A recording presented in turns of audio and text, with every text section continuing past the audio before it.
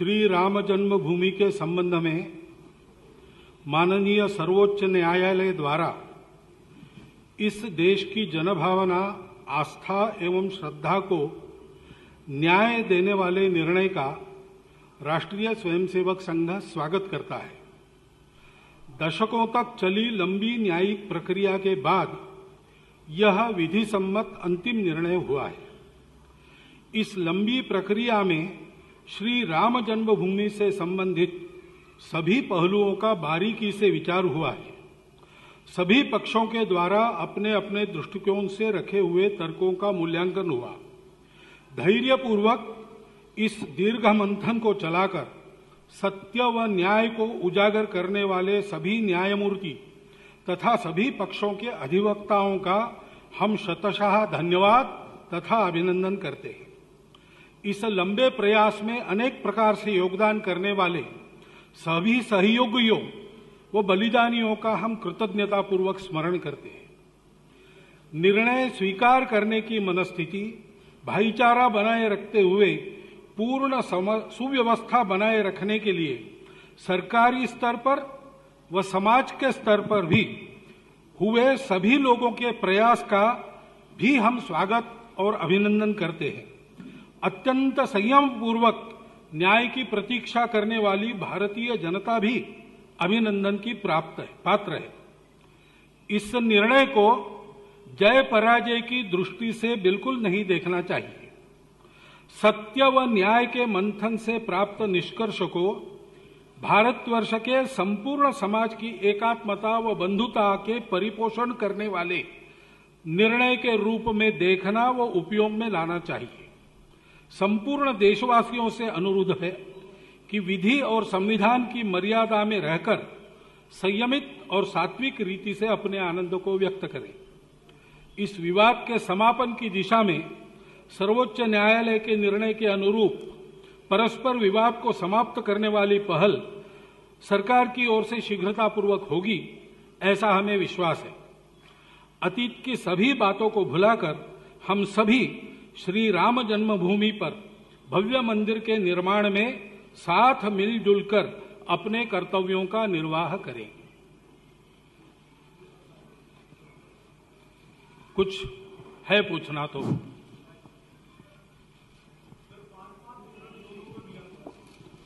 जिसके हाथ में माइक, उसका प्रश्न। मोहन जी, मेरा नाम रवि त्रिपाठी है, मैं जी न्यूज़ से हूँ। मेरा सवाल यह है कि अब जब फैसला आ गया है तो राम जन्मभूमि जो न्यास था जो काम कर रहा था उसका क्या होगा? जो पत्थर वहाँ तराशने का काम चल रहा था क्या आप लोग सरकार द्वारा जो ट्रस्ट बनाया जाएगा उसको ये सौंपा जाएगा? क्या होगा आगे आगे की गतिविधि क्या होगा? अब वो आगे की गतिविधि जैसे जैसी बनती जाएगी वैसे वैसे उसके रास्ते निकलते जाएँगे। उसमें कोई यही होना चाहिए वही होना चाहिए ऐसा आग्रह हमने नहीं किया है। स्थान दिया है राम जन्मभूमि न्यास को। सरकार को न्यास बनाने के लिए कहा है। तो सभी को मिलजुल कर मंदिर बनाना है तो निकलेंगे रास्ते। मानिए, मेरा सवाल है कि जो कोर्ट की तरफ़ से ये कहा गया कि जो विवादित बस के बारे में जितनी जिसे चर्चा हो रही थी, उसको मान लिया गया कि ये राम मंदिर का है और राम आस्था जो है, उसके साथ साथ उसके पॉइंट भी है। अब जो मुस्लिम ट्रस्ट के जो भी हैं, उनको जो ये दिया गया है पाँच एकड़ की ज़मीन, जो इस सारे विवादित भूमि और जो चर्चा के विषय की जो भूमि थी, उससे अलग किया गया है क्या संघ की भूमिका इसमें होगी कि जो बात आपने पहले भी कही है कि सारे लोगों को एक साथ मिलकर इस सारी चीज़ों को आगे बढ़ाना चाहिए, इसमें क्या आपकी भूमिका होगी? तो सुप्रीम कोर्ट का निर्णय है ना? उसको तो हम स्वीकार कर रहे हैं। मैंने विजयादशमी के भाषण में भी किया था कि ऐसे मामलों में जो कोर्ट का निर्णय होता है मान्य करना चाहिए, हम मान्य कर रहे हैं। आगे उसकी प्रोसेस चलेगी, तब ये सारे प्रश्न आएँगे। जो भी है, अंतिम इस स्टेटमेंट में जो हमने कहा है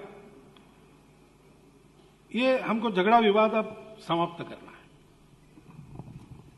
सर संचालक जी मेरा सवाल ये है कि जो अब विश्व हिंदू परिषद की भूमिका क्या रहेगी और जब सरकार अपनी आपको उन्होंने ढाई बजे बुलाया है। संघ के उसमें संघ की क्या स्थिति रहेगी? विश्व हिंदू परिषद की भूमिका विश्व हिंदू परिषद तय करेगी। मोहन जी मेरा नाम हिमांशु है मैं आज तक से हूँ। मेरा सवाल ये है इतने साल लग गए इस प्रक्रिया को करने में कुछ दिन से संघ और मुस्लिम संगठनों की तरफ़ से जो है वो कोशिश हो रही थी कि फैसले का स्वागत होना चाहिए। जो भी आए उसको मानना चाहिए कि आपको नहीं लगता कि ये आपसी सहमति से भी बन सकता था अगर इस तरीके की कोशिश पहले दोनों तरफ़ से की जाती, दोनों पक्षों की तरफ़ से? मुझे लगता है वो पहले हुई थी, किसी कारण नहीं सफल हो सकी, इसलिए यहाँ से बातें चली। नहीं तो अपनी सुख की जीविका कौन दुख में डालना चाहता है झगड़ों में? तो पहले प्रयास हुए ही होंगे, तब तो मैं संघ का अखिल भारतीय अधिकारी भी नहीं था। इसलिए मुझे उसका डिटेल वगैरह पता नहीं लेकिन ऐसे प्रयास हुए थे। वो नहीं चले इसलिए मामले तो यहाँ तक आए। लेकिन ठीक है देर आए दुरुस्त आए। भागवत जी आ, इस तरफ़ मैं विकास भदौरिया हूँ एबीपी न्यूज़ से आपके दाहिनी तरफ़। हाँ। आ, जब ये मंदिर और मस्जिद का विवाद चलता चल रहा था उस दौरान जब भी मध्यस्थता की बात होती थी तो ये कहा जाता था कि अयोध्या में ही किसी जगह पर मस्जिद भी बना दी जाए। तब अक्सर हिंदू संगठन इस बात की मांग करते थे कि जो अयोध्या की सांस्कृतिक सीमा है, उससे बाहर मस्जिद बने। लेकिन अब कोर्ट ने कहा है कि मस्जिद अयोध्या की सीमा के भीतर ही बनाई जाए। क्या आप इससे सहमत हैं? अब कोर्ट ने जो बताया है, उसका अध्ययन करेंगे, अर्थ वगैरह लगाएँगे, और वो तो हमको नहीं देनी है।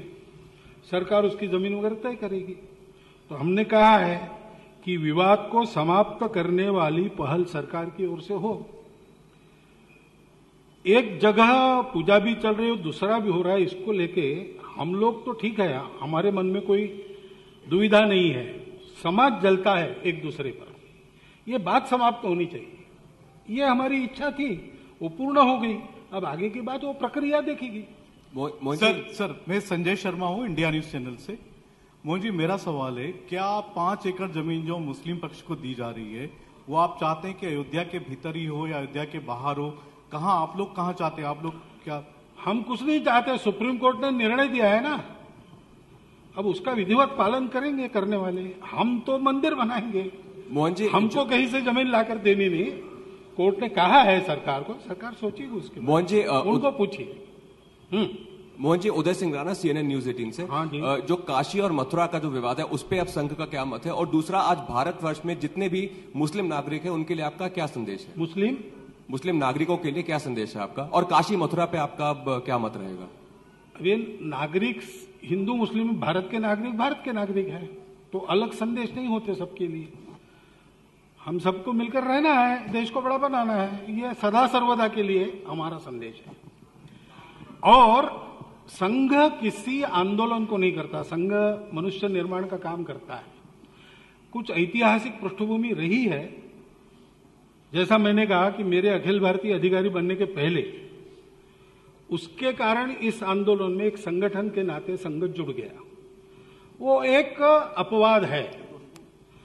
अब आगे हम अपने मनुष्य निर्माण के काम में लग जाएँगे तो ये आंदोलन के विषय हमारे विषय नहीं रहते। इसलिए हम इसके बारे में कुछ नहीं कह सकते। मोजी मोजी मैं अमित अमित हूँ न्यूज़ 24 से। बस आखिरी हाँ। हाँ अमित हूँ न्यूज़ 24 से एक सवाल है कि हाँ जी। एक, दो एक तो जफराब जिलानी ने कहा है कि वो रिव्यू पिटिशन डालेंगे जो सुप्रीम कोर्ट का फैसला है। दूसरी बात की जो बात अभी पूछी गई थी कि अयोध्या के बाद क्या काशी और मथुरा वो आपके एजेंडे में है उसको आप आगे बढ़ाएँ? पहले का उत्तर मैंने दे दिया है संघ आंदोलन करने वाला संगठन नहीं है मनुष्य निर्माण करेगा। और दूसरी बात है कि उन्होंने जो किया है उसके बारे में उनके पीछे बहुत बहुत धन्यवाद। आपको और बहुत जगह जाना पड़ेगा आज। और ये साफ़ है बिल्कुल। जैसा वो निर्णय साफ़ है, वैसे स्टेटमेंट भी साफ़ है। धन्यवाद सबको